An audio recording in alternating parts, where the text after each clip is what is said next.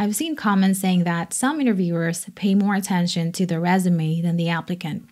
And there are several reasons for this.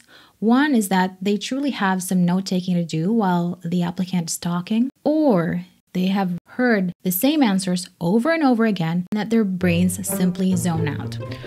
And why should we hire you? Uh, you should hire me because I'm hardworking. I'm hardworking. I'm hardworking? You simply cannot impress an interviewer by sounding like everybody else. You have to stand out in your own positive way.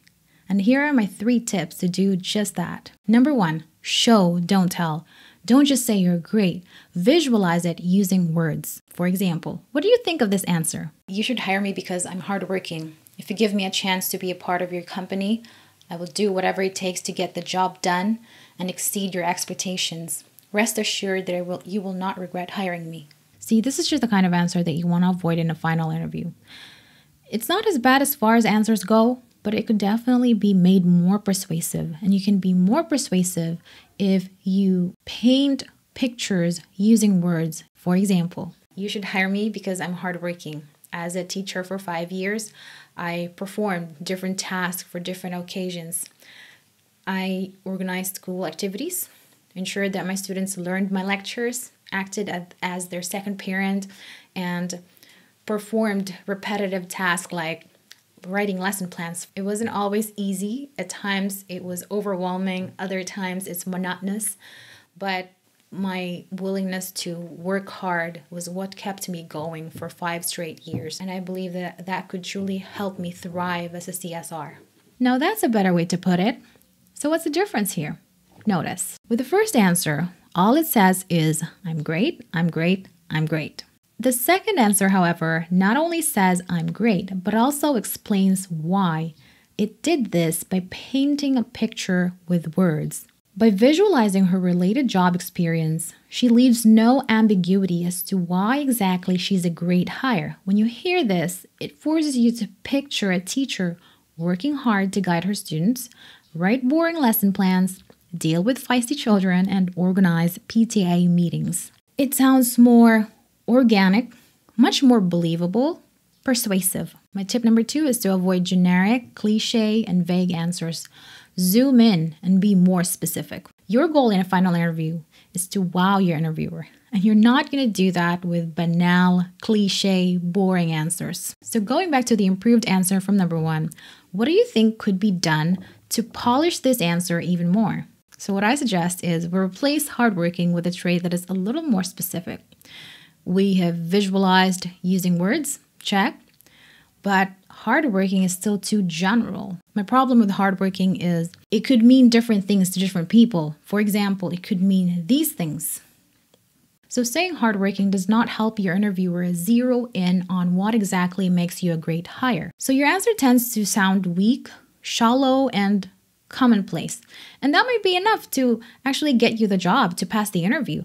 But if your goal is to impress your interviewer, this is not the answer you want. So, what I suggest in this case is we replace hardworking with a strong sense of responsibility, and the message becomes even stronger. This is one of those answers that makes interviewers look up from the resume, pay attention, nod, because it's different from what they usually hear.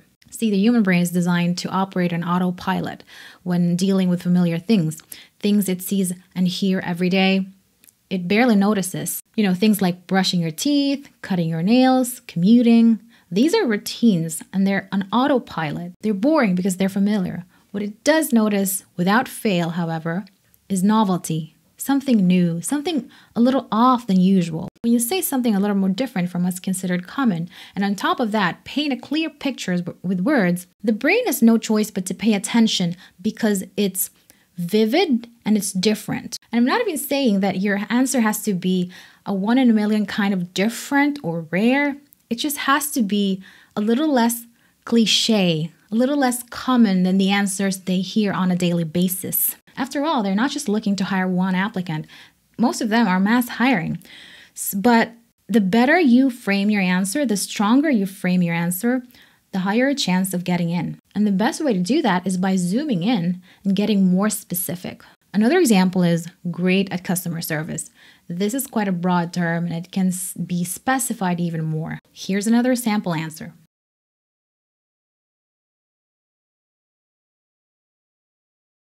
And my third tip is to inject life into your delivery, verbally and non verbally. You might have already heard of the statement, it's not what you say, it's how you say it. But maybe this, mess, this message is too simplistic to be taken too seriously. But there's definitely some truth to this. Uh, in my previous job, I was a private tutor, and one of the most common reasons why, why parents hire me was um, because their children their, their children were falling behind at school. They were having a hard time absorbing the lessons and and they need an extra boost. The most important life skill I the most the most important skill I probably learned from it from from 5 years of teaching is being able to to make complex ideas easy to understand by breaking them up. Um, uh, um, and as a technical support representative, I think that it's a pretty important skill. The the faster the the customers understand the instructions, the the more satisfied they are. In my previous job, I was a private tutor, and one of the most common reasons that parents hire me was because their children were falling behind at school you know they were having a hard time understanding or absorbing the lessons and they just need that extra boost that a private tutor could provide i think the most important skill that i learned from it was the ability to make complex ideas easy to understand by breaking them down into bite-sized pieces and as a technical support representative, I think that it is a pretty important skill. The faster the customers understand the instructions, the more satisfied they are. So, in summary, what you should be paying attention to are your vocal variety and your body language. I've talked about body language in this video. I'm going to link it up here. I've talked about how to look confident when you're interviewing. But what vocal variety means is in speech, it is a way to communicate by changing the sound of your voice using different speeds and tones, changing the volume, using pauses while speaking, and as a result, it's more stimulating to hear, it's less boring. It's more engaging. And you might ask, how can I improve my vocal variety? How can I practice? And what I want you to do, the only thing that I want you to do on a daily basis until you master it is to mimic the people that you want to copy, that you want to emulate. A question I get asked a lot is how do I talk about myself without bragging? A question I get asked a lot is how do I talk about myself without bragging? Especially in interviews or on dates. Especially in interviews or on dates. Or in areas where you want to put yourself out there. Or areas that, where you want to put yourself out there. But you don't want to sound like you're braggy. But you don't want to sound like you're braggy. Or showing off. Or showing off. So here's how you can talk about yourself without showing off.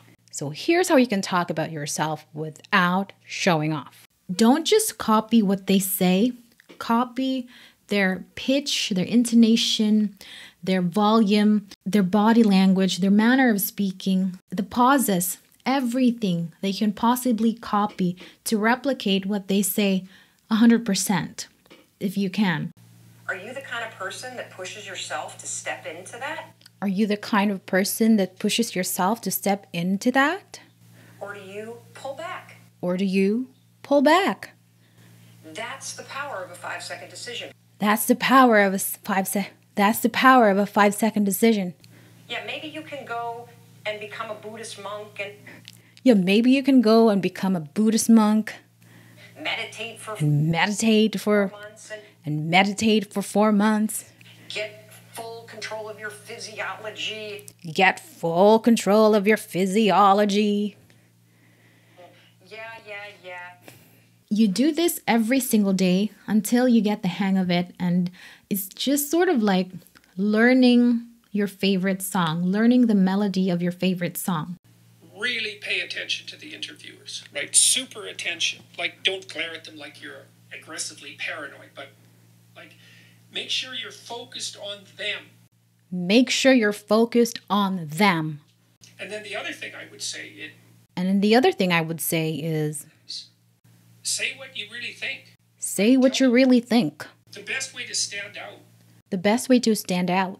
In an interview, in an interview, always, always. Assuming you're competent, assuming you're competent. You've done the preparation, and you've done the preparation. And that you're not living a lie, and you're not living a lie, is to actually say what you think. is to actually say what you think. Is to actually say what you think. You got to be willing to look like a fool, but when you do this enough times, eventually applying variety to your voice will be second nature. And you might say, What if I have other problems? What if I don't have that much problem delivering my message strongly, but in the middle of an interview, I freeze and my mind goes completely blank and I no- don't know what to say next? Well, that's going to be in my next video. In my next video, I'm going to talk about the PREP and STAR framework more extensively so you know how to deal with mental blocks and come up with answers that are coherent and articulate. I'll also talk about final interviews, how they're different from initial interviews, and what the interviewers want to hear from you. And once both videos are ready, I'm going to link it here in the end screen or in the comment section. What's the trickiest question you encountered in a job interview? Leave a comment below, and whatever gets the most like, I will make a video about it. And if you have any requests and questions, let me know in the comments. Thank you so much for watching. Good luck, everyone.